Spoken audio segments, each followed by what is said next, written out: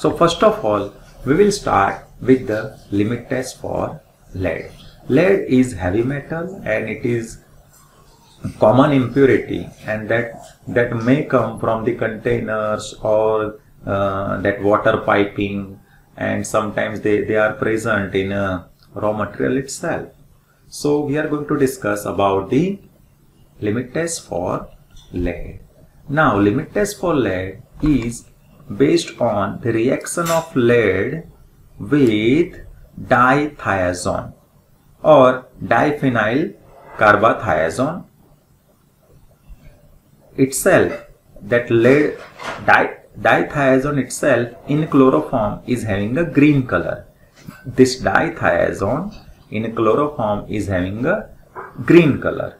But when that reacts with lead when that reacts with lead then it forms lead diethionate or lead dithiazone complex that prepares lead diethionate or lead dithiazone complex and that complex is of violet color. So this violet color intensity is compared. Sample which produce violet color intensity is compared with the standard in which known amount of lead is already there and the procedure is performed in the same way and the finally both the color intensity is compared. So sample should have less color intensity than the standard. Okay, so how this is performed? See, I have not included what are the quantities of uh, all reagents are used. Here we are more interested in a basic concept and the sequence and what is the role of each reagent. In that we are interested. So commonly uh, if we look at the common procedure for the lead without quantities, so first of all sample which uh, for which uh, we are going to test the lead impurity is dissolved in the prescribed quantity of water. Then sample is dissolved in water. Then ammonium citrate, potassium cyanide, hydroxylamine hydrochloride. Then phenol red indicator is added. And lastly, ammonia solution is added. This ammonia solution will make the solution alkaline and as uh, the indicator is phenol red that will produce red color. So sample added with all this reagent ammonium citrate, KCN, hydroxylamine hydrochloride, phenol red and ammonia then it is extracted with dithiazone extract solution. Dithiazone extract solution. Now, this dithiazone extract solution contains dithiazone in chloroform. So several times that sample uh, with all this reagent added in a separating funnel then dithiazone extract solution is added then that is shaken and the layer dithiazone layer uh, which contains chloroform that will extract lead from the sample.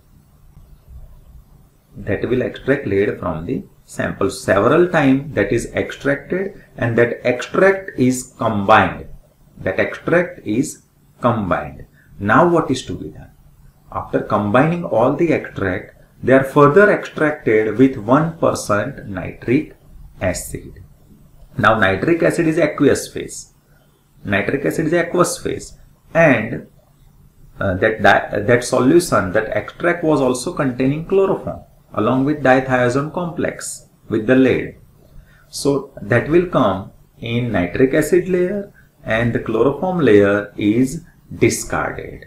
Chloroform layer is discarded. Now what will happen? That nitric acid or aqueous phase, aqueous phase will be further added with standard dithiazone solution. Now this standard dithiazone solution is added that will also contain chloroform and that is shaken for 30 minutes. So after shaking that nitric acid layer with standard dithiazone solution. Now what will happen is color, violet color is produced in a chloroform layer because of lead dithiazone complex.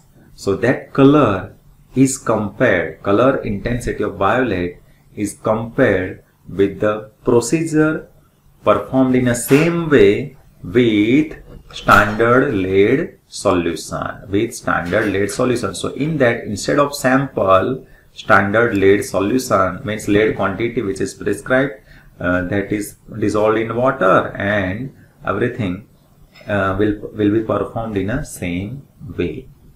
So after comparison if sample uh, or a test solution contains less violet color then it passes limit test for lead. If it contains more color intensity, more violet color, dark violet color than this standard, then it fails limit test for lead. So that is about limit test for lead.